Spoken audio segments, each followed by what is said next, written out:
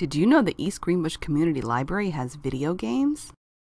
We now have PS2, PS3, PS4, Wii, Wii U, Xbox 360, Kinect, and Xbox One games.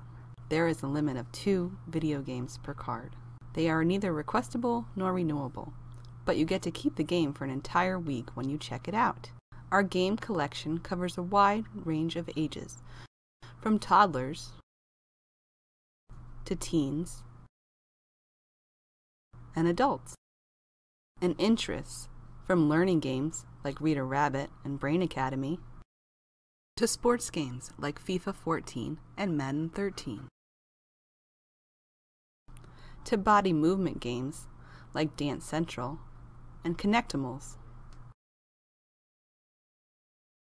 to RPGs like My Sims and Legend of Zelda Skyward Sword.